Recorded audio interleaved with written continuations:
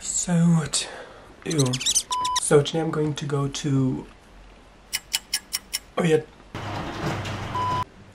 So today I'm going to go to Luxembourg Art Week, and then I'll sketch a bit in the city. And uh, oh my god, I'm so so congested. I sound horrible. Sorry. What are you gonna do about it? Are you gonna arrest me? Are you gonna give me a ticket? So what are you gonna do about it? We're reporting it. Are you gonna arrest me? Are you gonna give me a ticket? We don't do So what are you gonna? I'm gonna go to the art fair thing that they have. Hope the art fair is not boring. Like I hate silent exhibition type of things. It's like so awkward. And I'm really excited to take free public transport. Yeah. Because public transport in Rotterdam is fucking expensive. So also, I hope I'm not covering anything on the camera because this is not mine. I'm actually renting this and I'm not supposed to even take it to a different country, but Luxembourg's not that far, so I don't really count it as too much of a different country. But yeah, whatever, I'm gonna go and see if it's fun and sketch a bit. Fill up like the last few sketchbook pages in my sketchbook.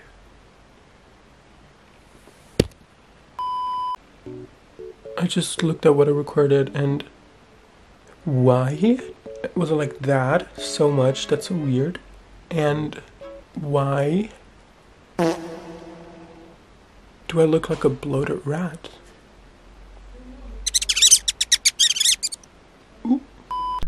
So yeah, I took the bus to like a train station that was closest to me, and yeah, I pulled out my sketchbook. I was like, oh my god, I'm gonna sketch in the bus, but I didn't. Why do I recorded a lot of scenery, even though it's really ugly.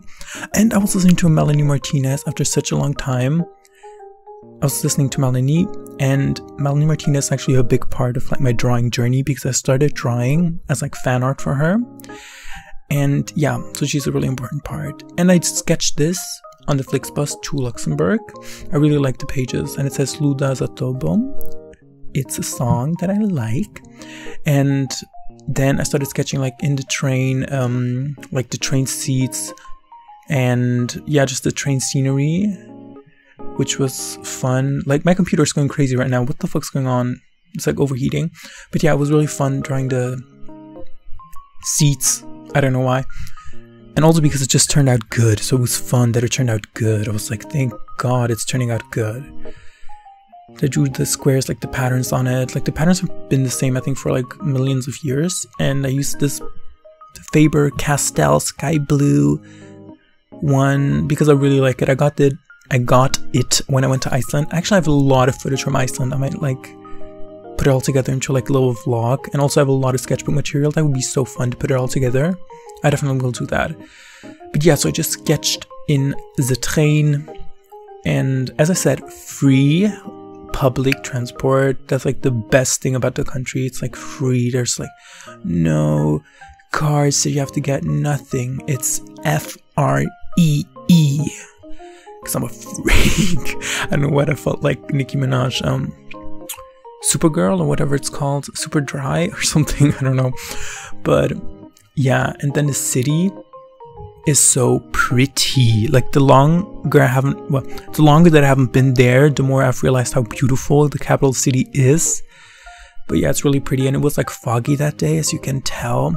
So it was really, really stunning. It was stunning. Uh, as no, how would how would Juno Birch say that again? Absolutely stunning. Stunning. This is so, so stunning, isn't it? She's absolutely stunning. Yes, stunning it is. Look how pretty it is. That's beautiful in it.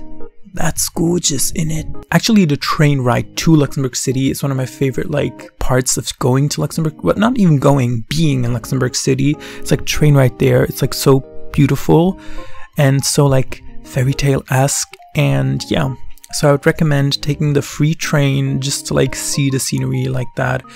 I would always want to, I always want to go like on the sides of the train, but I think that's illegal. You know, like on the railing, you can see kind of the railing. I feel like it's a nice ass balcony, but I feel like that's illegal. Probably. But yeah, the fog was so beautiful. The fog added like a layer of like, I don't know.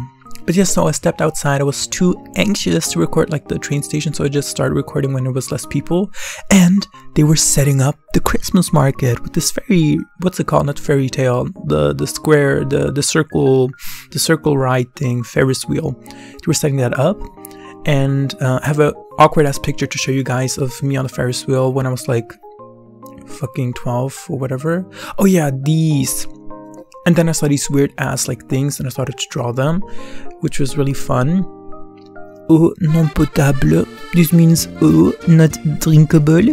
You can't drink this water. Don't drink it from the mouth of the beast. This was actually one of the perfect like weathers to me for Luxembourg City, like the autumny, foggy type of shit. But yeah, we went to Luxembourg Art Week and it was real, real stunning there. It was so fun. Like I saw a lot of art. Probably just put the art week in the comments and you can find all the artists there because it's a lot of work. But this artist, oh my god, this artist, I loved their work so much. Like this artist was definitely my favorite.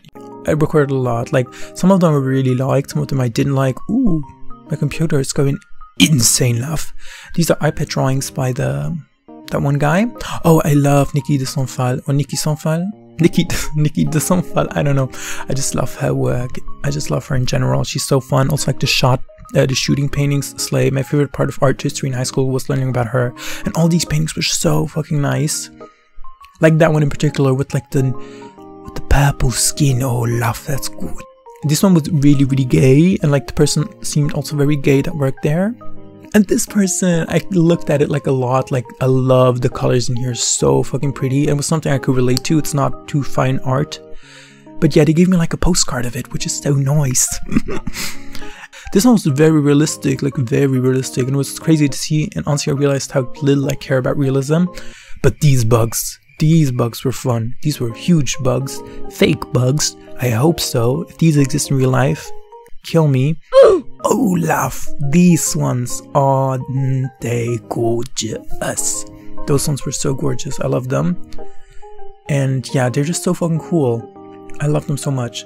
So it was really fun. You can see like it was a lot of galleries, so I couldn't talk to the artists. And this one I also really loved, like especially this gallery had so many cool things that were like animal themed. But yeah, overall I did love the whole like event art week but i must say i wish that they had like the artists there rather than like the gallery people because i don't i don't know they all were like fancy fancy dresses fancy outfits. And i was like that's not my vibe. Like this one also I really liked. Like everything was kind of more like approachable seeming. I loved. But overall as i said it was not the most like stunnelina type of thing.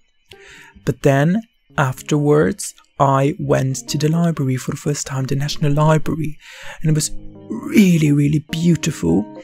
And I felt really out of place because there were so many students studying while my ass was picking out what art book will I take? This one says Papa quoi um homosexuel. I don't know if it's like a joke on homosexual. And this book looked really cool. Japanese illustrators now. So I was like, I'm gonna take that one. A life in illustration. I'm gonna take that one.